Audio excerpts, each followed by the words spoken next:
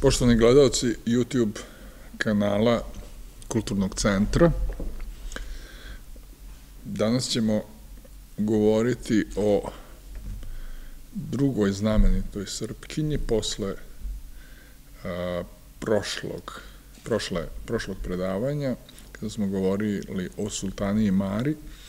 Danas kao da ćemo da ostanemo u toj jednoj, a, u tom jednom prostoru, i u toj jednoj temi e, govorit ćemo praktično prvoj koja se otisnula tim nekim putem sticajem istorijskih i porodičnih i rekao bi stradalnih okolnosti u kojima se našao srpski narod, a to je Olivera Lazarević, sestra despota Stefana Lazarevića, Vuka Lazarevića, Mare Lazarević, udate za Vuka Brankovića, Dragane udata za Šišmana, bugarskog cara, Teodore udate za Nikolu Gorjanskog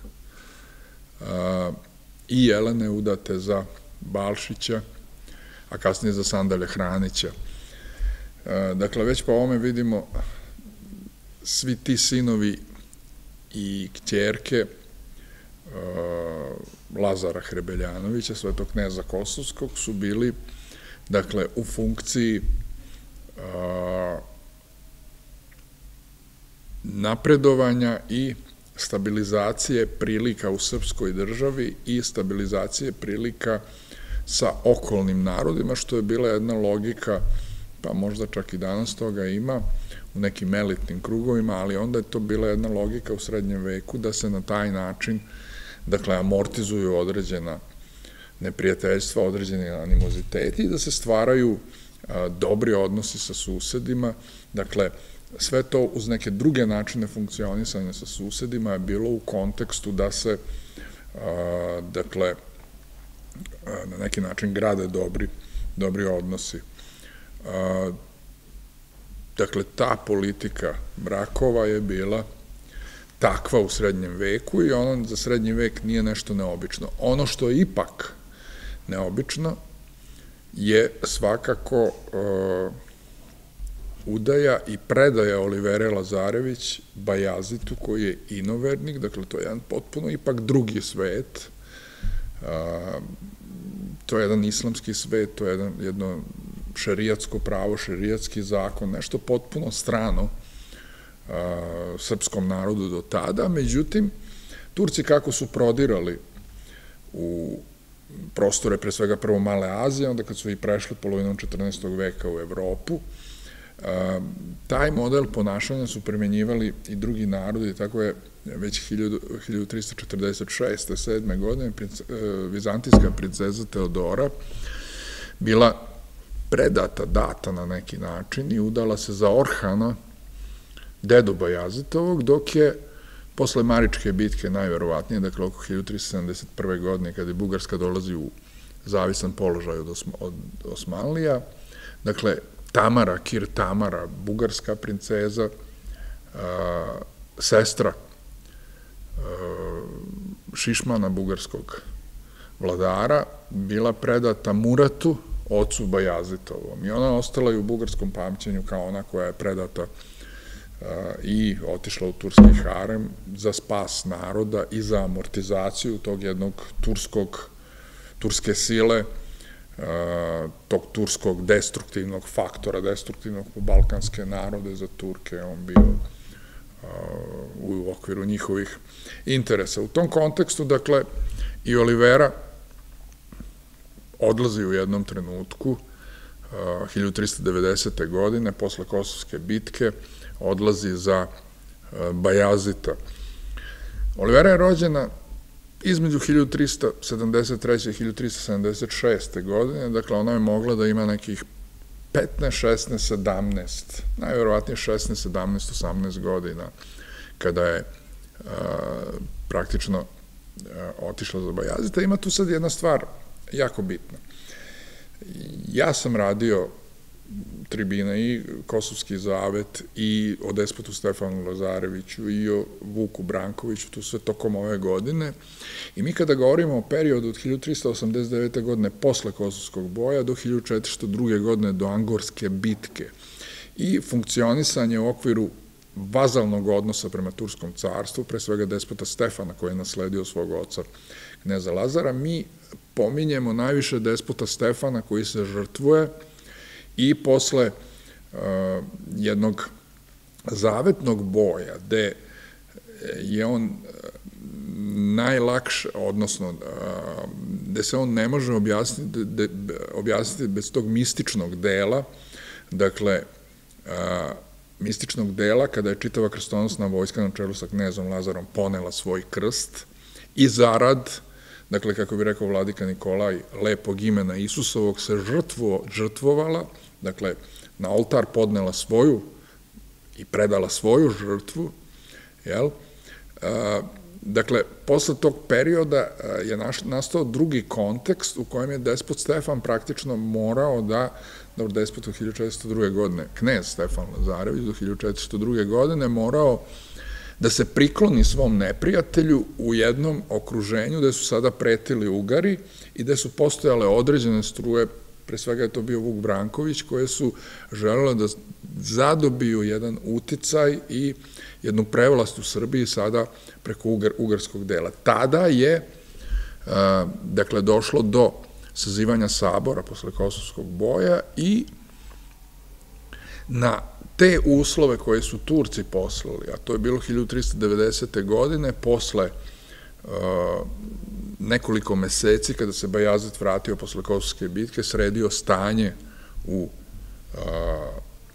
svojoj imperiji, eliminisao sve moguće oponente njegove i onda zbog jednog sveopšteg izginuća srpske vlastele i jednog stanja u kome Srbija više nije mo mo mogla pružati otpor, iako možda na Kosovu i nije bukvalno izgubila, dakle morala je da prihvati uslove Bajazita ili eventualno da krene u jedan e, buntovan odnos, da pokuša da pruži otpor uz pomoć, uz pomoć Ugara, ali taj otpor je teško mogao da se pruži u sveopštim okolnostima kada je prethodne godine gotovo čitava vlastela izginula, kada se zaista država iscrpila, kada ne samo ostali resursi, nego ni ljudski resursi više nisu bili takvi da se moglo ući u jednu takvu politiku. I tu se desilo ono što će se i kasnije događati u srpskoj istoriji. Posle junačkog žrtvovanja, posle junačkog stradanja, nastupaju periodi mira kada, kada treba da se sačuva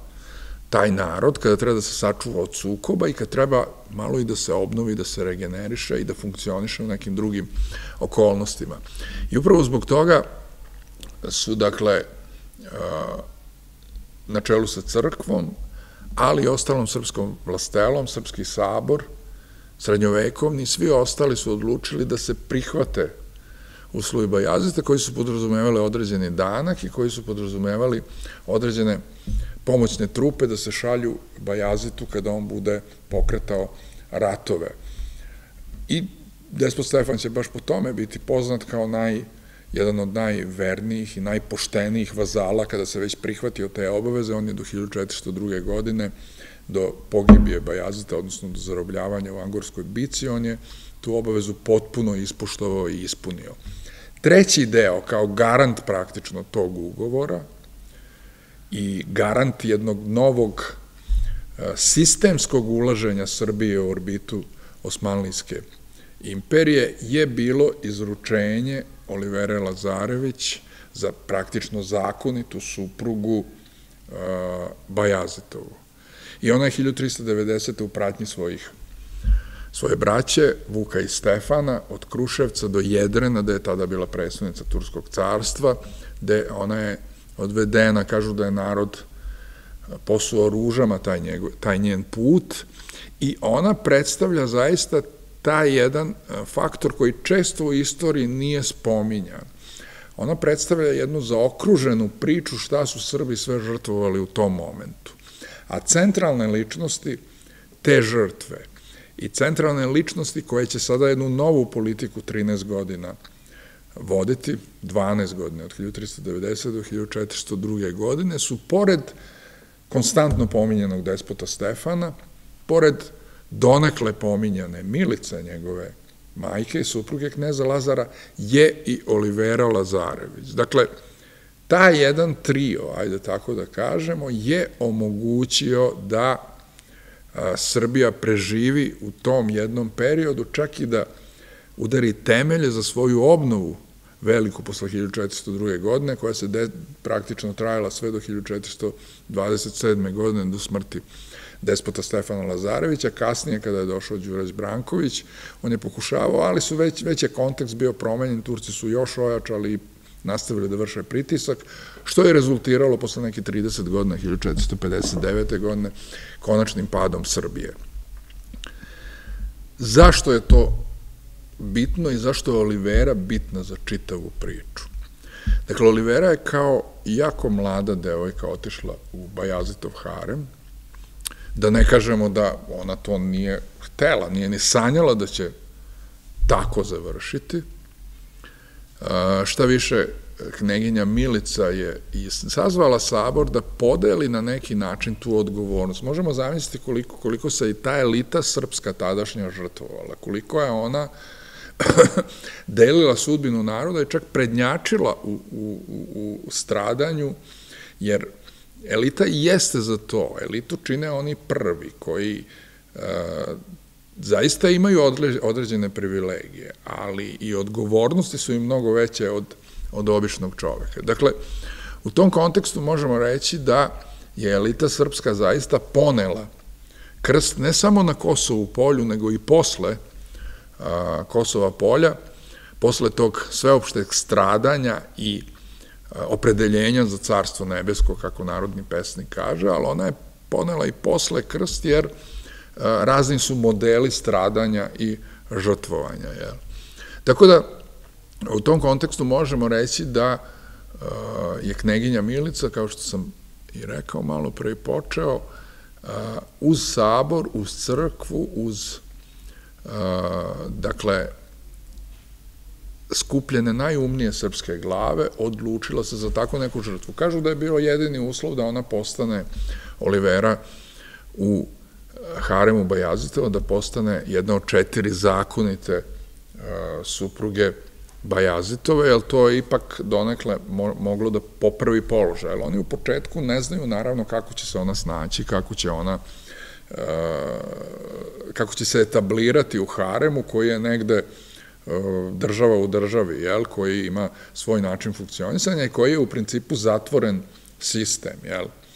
U haremu, koji iz ovu dvoru, dvoru je potpuno zatvoren sistem koji kontroliše uh, sultanija, majka cara, ona potpuno kontroliše, čuvaju ga evnusi, dakle, obično iz nekih drugih država, obično su to i crnoputi ljudi i tako dalje, i e, postoje određene lestvice kojima se prosto penju te devojke, devojke kada dođu, a, tu ima mnogo, po nekoliko stotina devojaka koje su naravno sve na raspolaganju sultanu, ali pošto je to dvor u dvoru, to ima različitih, različitih zaduženja, jel, da sad ne pominjemo sva ta zaduženja, uglavnom to je ovaj, mnogo složen, mnogo složen sistem.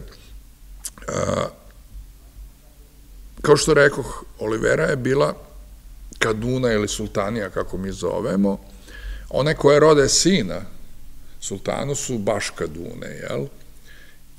Ali su sultani izbegavali da iz znamenitih porodica s kojima su se orodili, dakle, izbjegavali su da imaju decu zbog e, problema oko nasledstva posle toga, tako da su oni e, taj deo odrađivali sa nekakvim robinjama koje nisu mogle posle da se petljaju oko nasledstva i nisu mogle da vrše određeni uplivi, određene uticaje. Dakle, ono što se desilo i što je imalo da daje Oliveri taj jedan uh, ključni značaj uz Milicu i despota Stefana pre svega, jel, je taj jedan kontakt koji je ona stvorila sa Bajazitom, a on ne može toliko direktno da se vidi, ali može indirektno kroz postupanje Bajazita prema Stefanu. Dakle, Stefanu je bilo bitno da vodi državu, da ide u pohode koje Bajazitide, da verno služi da bi taj svoj položaj u sistemu da je Osmanlinska imperija predvodnik, da je Osmanlinska imperija dominira, da bi zadržao taj položaj u sistemu, jer samo taj dobar položaj kod Bajazita njemu je davao šanse da radi na dobrobiti Srbije i na dobrobiti svog naroda, ali mu je davao šanse na neki način da neutrališe one druge pretendente, pogotovo koji su podržavali ugarsku struju, dakle te druge pretendente koji su hteli njemu presto, dakle iznutra iz Srbije, koji su hteli presto da mu a, praktično otmu, jel? Tako da, a, on je za to i on je zaista centralna figura. S druge strane, Milica supruga kneza Lazara, koja se i zamonašila nekoliko godina kasnije, do 1393. godine praktično vrši vlast u ime Stefana koji ima neki 13-14 godina kada je proglašen, proglašen za kneza. I onda do 1393. godine vrši tu vlast i njena mudrost, njeno životno iskustvo i njena naklonost prema Stefanu koja je potpuno prirodna zato što je Stefan naslednik Lazara, to će se ispoljiti kada budu dođe do građanskog rata, pre svega sa Vukom, njegovim rođenim bratom.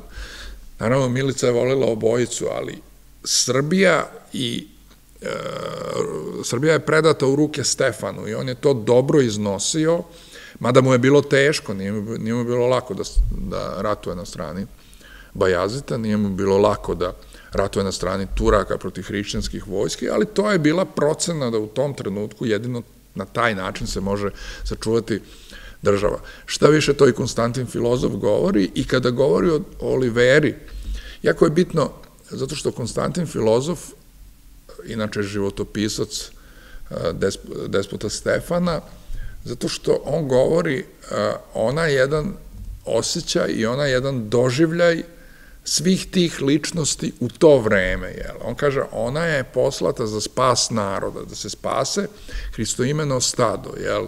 Dakle,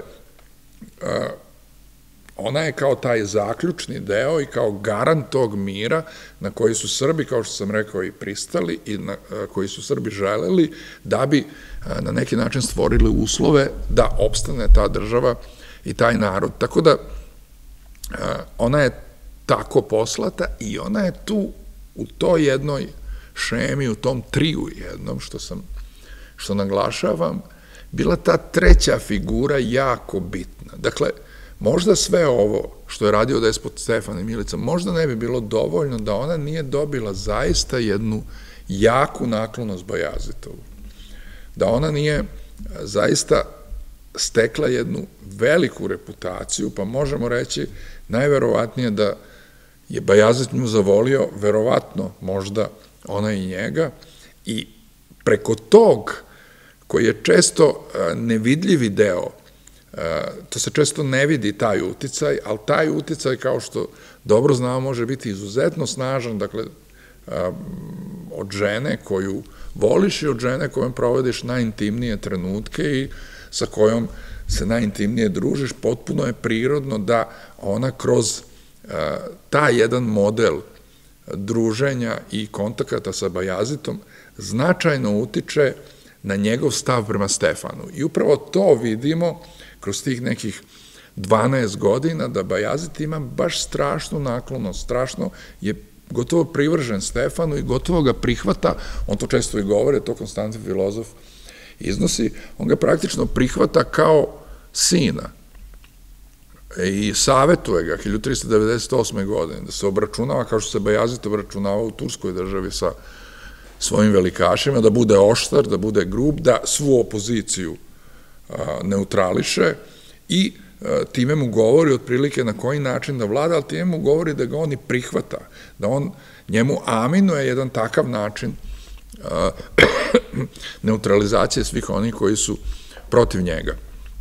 Konkretno, ako uzmemo tih 10 godina, već 1391. godine, jako bitna stvar, Bajazid dopušta, to je najverovatnije pod uticajem Oliverinim, ili ako kneginja Milica, na primer, zatraži nešto, zbog tog kontakta Bajazite i Olivere, to je mnogo lakše ostvarljivo nego da, to, da taj kontakt ne postoji šta više nekada čak može da bude odlučujuće. U kolikoj meri mi to ne možemo i zbog oskudnosti izvora i prosto nije poznato u kolikoj tačno meri je Olivera doprinela mnogim stvarima, ali svakako je njen pečat snažan na Bajazita, što opet ponavljam je jako bitno. Dakle, u tom nekom kontekstu se 1391. godine već prebacuju mošti svetog kneza Kosovskog iz Prištine u njegovu zadužbinu Ravanicu i tu je sigurno Olivera odigrala značajnu ulogu.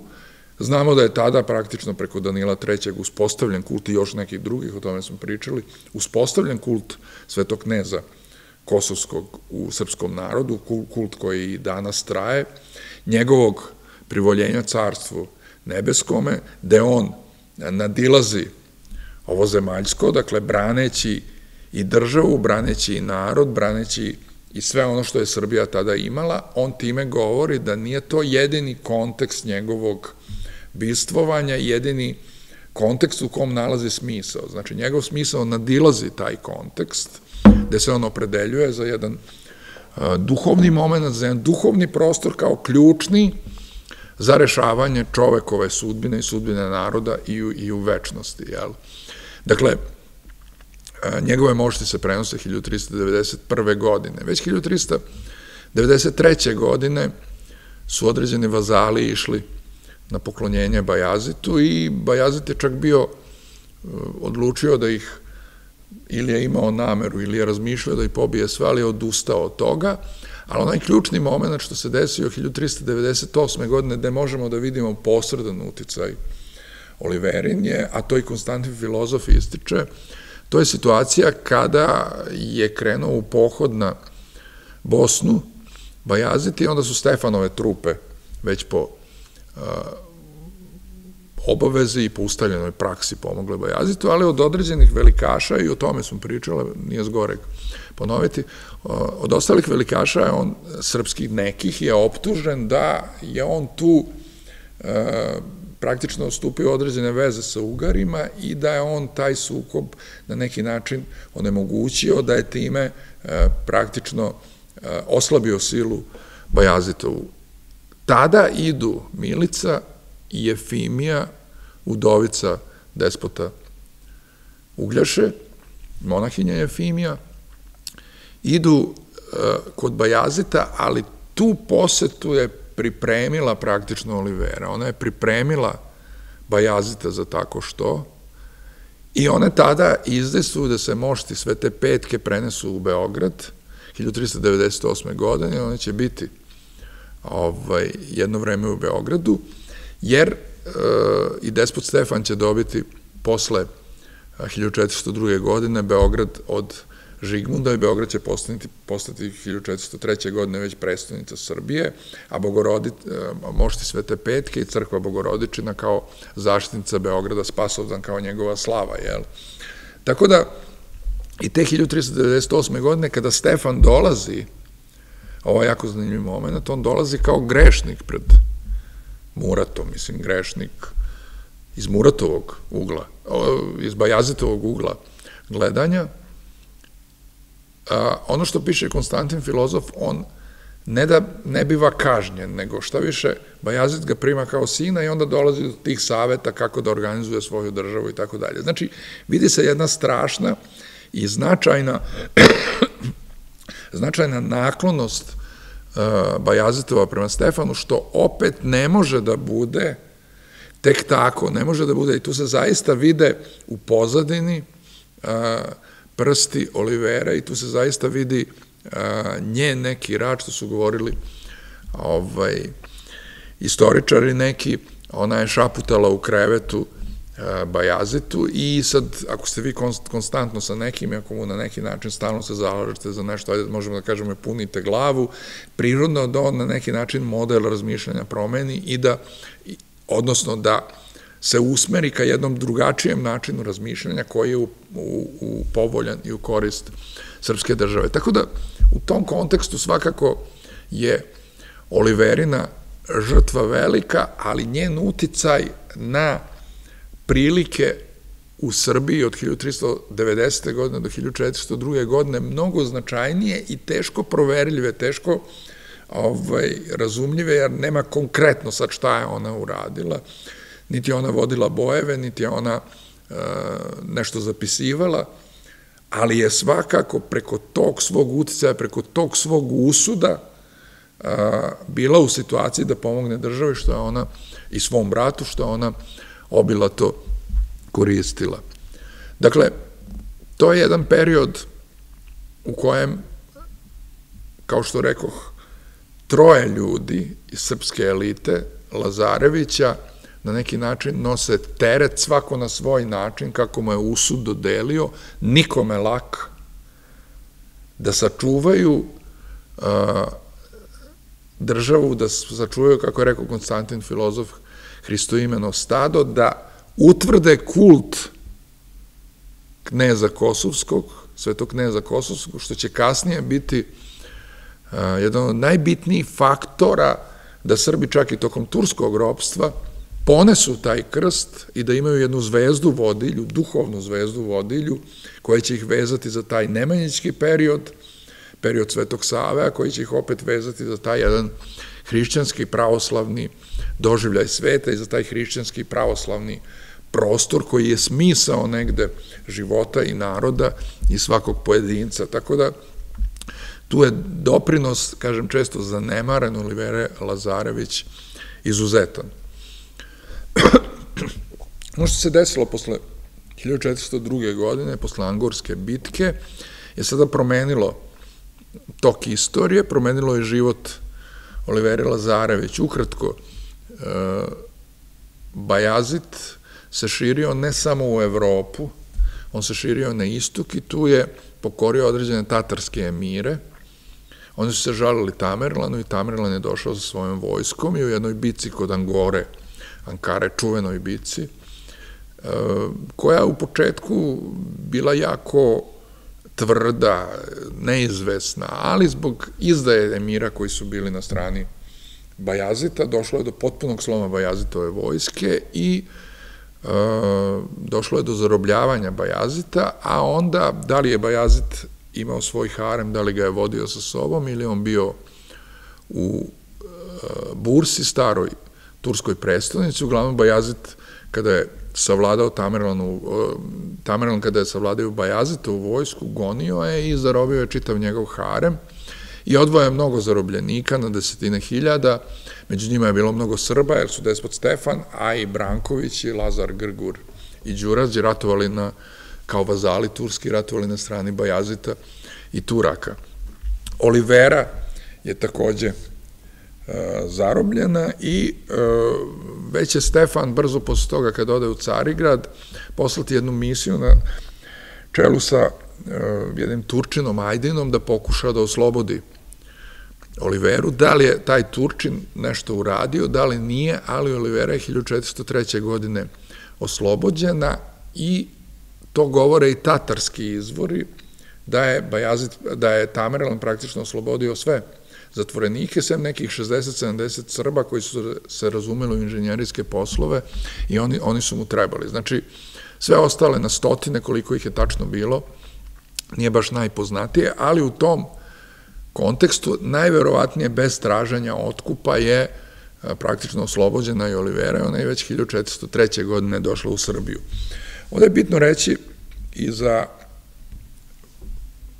pomenuti određene priče koje su kružile o tome posle toga šta se desilo posle zarobljavanja Bajazita, a to je vizantijski hroničar Leonid Holkokondil je e, praktično pisao o tome i tu su neke fantastične priče u kojima se govori da je Bajazit bio zatvoren u kavezu, da je e, Olivera bila prinuđena kao njegova žena koju je najviše voleo, jel, da bi se on ponizio, da je morala naga da služi Tamerlanu, pa čak ima priča da su onda Tatari silovali sve te e, Bajazitove žene iz Harema, a da je lično Tamerlan e, silovao Oliveru, ali su to sve najverovatnije fantastične priče i 99,99% fantastične priče, jer kasnija historiografija je praktično i neki drugi izvori su rekli potpuno drugčije i to je sad ona oficijalna verzija koja se uzima kao tačna, razrešeno je sa tom verzijom, to su više neke,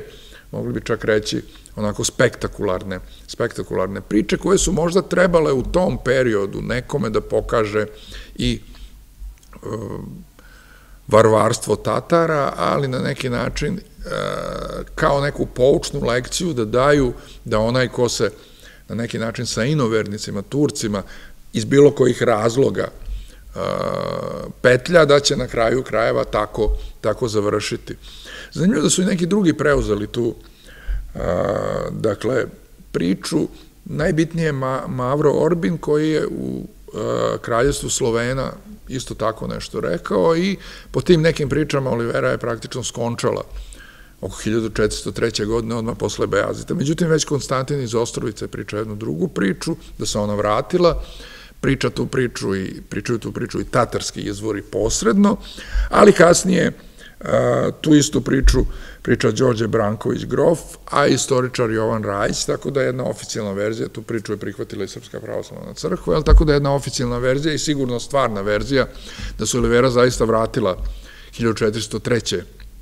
godine u Srbiju i zna se da je boravila u manastiru Manastirici kod Kladova jedno vreme i da se onda kada je despot Stefan uredio Beograd, kao glavni grad Srbije, kada je odlučio grad koji e, Konstantin filozof na, naziva Novi Jerusalim i najlepši od svih carskih gradova, da kada je počeo da napređuje trgovinu, naselio Dubrovčane, pa je počeo da se stvara i srpski građanski sloj tamo, da Olivera se preselila i da živela od 1403. pa sve do 1427. možda i duže u Beogradu i da je živjela pored dvora dakle, svog brata i da je bila njemu apsolutna podrška u svemu i da praktično ta njihova simbioza i taj njihov rodbinski kontakt, vrlo prisan, vrlo dubok je, kakav je bio pre toga, je i nastavio da bude, da bude posle toga.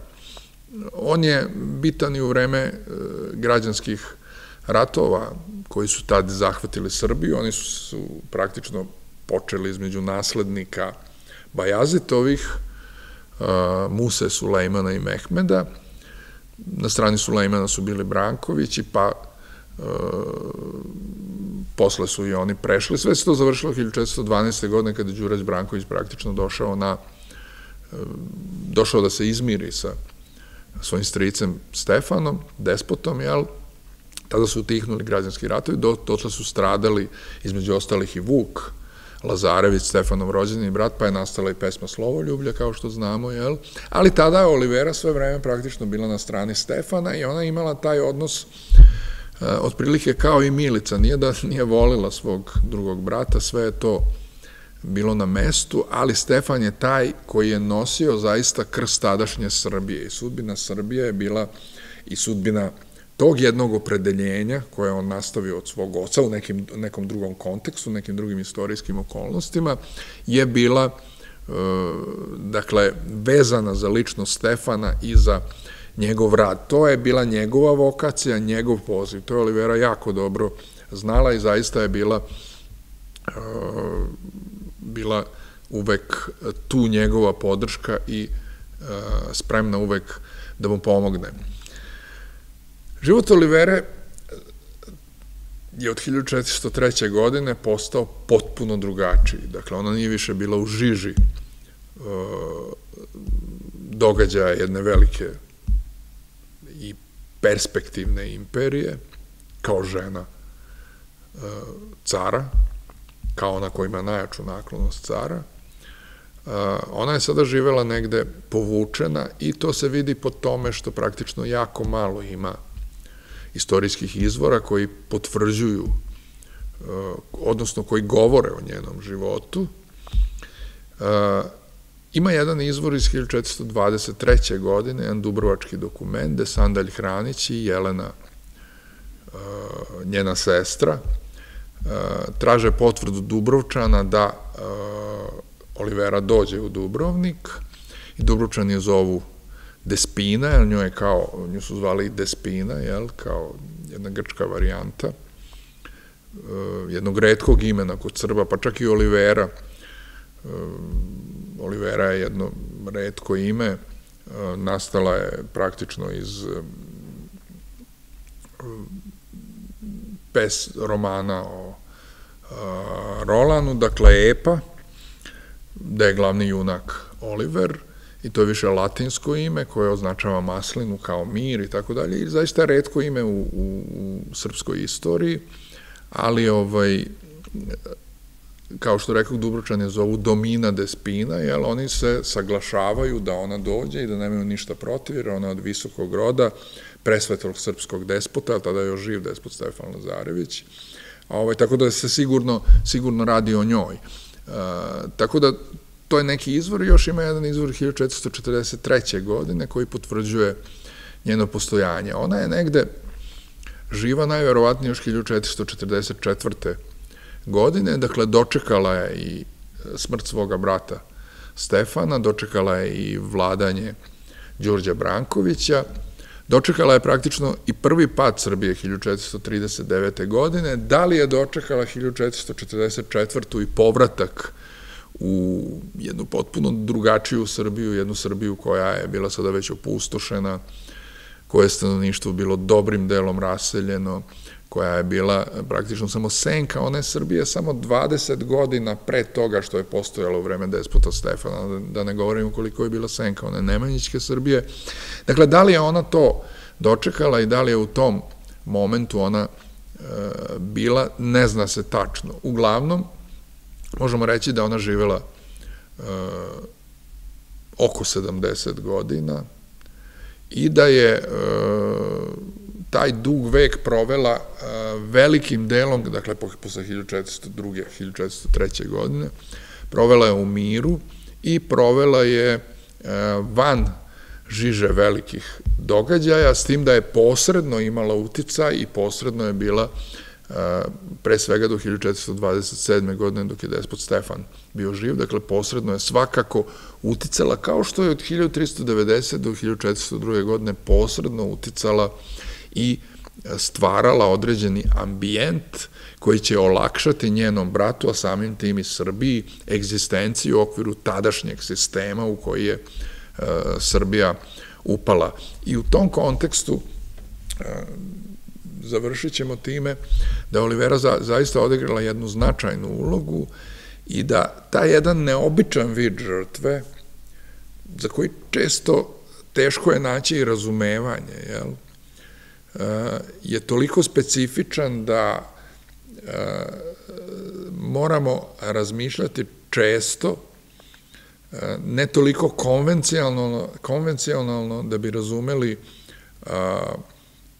žrtvu žene, jednu takvu žrtvu, jednu takvu žrtvu žene, ali ona izlazi iz naših konvencionalnih i naših uobičajenih, uobičajenih razmišljanja. Možemo doći do one da kažemo, pa nije samo delo dovoljno da objasni njegov kvalitet, njegovu ispravnost ili neispravnost. Često je motiv onaj koji tek objašnjava kakvo je to delo. Jer delo možda, ja verujem da je tako, da delo samo po sebi ne može to da objasni, nego onaj unutrašnji motiv zašto je nešto urađeno, u stvari govori da li je to ispravno ili nije. Da li je to na svetosavskom i kosovskom putu i generalno hrišćanskom putu, da li je ono u skladu sa hrišćanskim doživljajem sveta i da li je ono to koje zadržava čoveka i koji pomaže narodu da ostane u tom duhovnom prostoru kao onome, onoj zvezdi vodilji koja daje smisao postojanja i ovde na zemlji. Mislim da je Oliverino delo to upravo i tek kada se zaviri i tek kada se malo otkriju motivi zašto je ono učinjeno, a onda dođemo do toga da i taj sabor koji je odlučio i Milica majka i ona nije im bilo lako, ali motiv zašto je to učinjeno daje im za pravo, a žrtva koju je ona ponela je nešto zašto će ona biti nagrađena i zašto je nagrađena u srpskoj istoriji.